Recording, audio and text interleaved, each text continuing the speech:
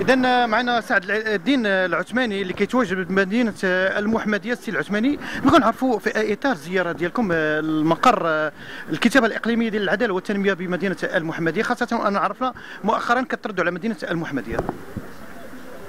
شكرا جزيلا. هذه الزيارة هي سلسلة زيارات منذ شهور.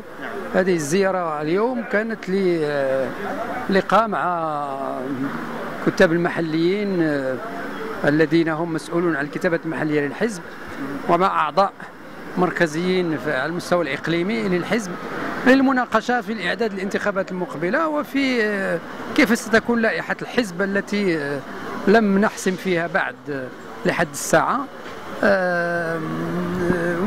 وكان نقاش كان نقاش مع الاعضاء ديال الحزب وطرحت عدد من الأفكار و ولكن غادي نحسموا فيها في القريب العاجل. اذا اذا السؤال نطرحه للسي العثماني. هل في نية أو رغبة السي العثماني إن كانت الظروف مواتية ل... ل... لأن يكون وكيل لائحة الحزب هنا بدائرة المحمدية؟ في الحقيقة هذا يعود إلى أعضاء الحزب في المحمدية من جهة وإلى قرار الأمانة العامة من جهة ثانية.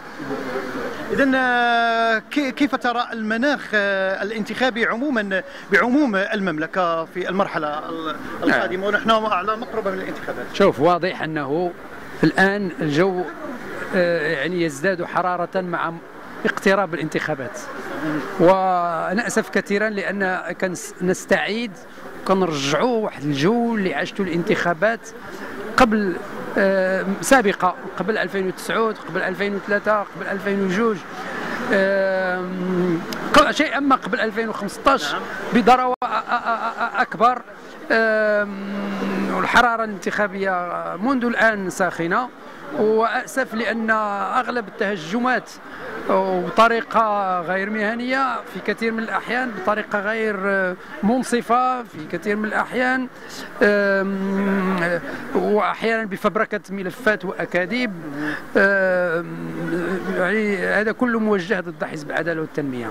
أنا نشرت عليه إحدى الجرائد منذ فترة بأن مدير حملة الانتخابية فلان يتملص من أداء الضرائب عن الخمور. وتبي اولا لم يكن مديرا للحملة الانتخابية ثانيا ليس هناك أي ضرائب على الخمور ثالثا وقد أوضحنا هذا.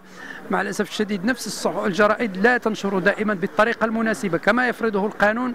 التصويب عندما يتعلق الأمر بأخبار غير صحيحة وغير دقيقة.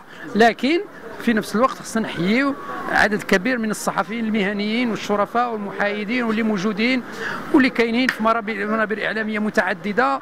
آه، كنحييهم. هما اللي كيديروا شوية الميزان والذين يرجعون الأمور إلى نصابها. إذا شكرا سي عثماني. شكرا جزيلا.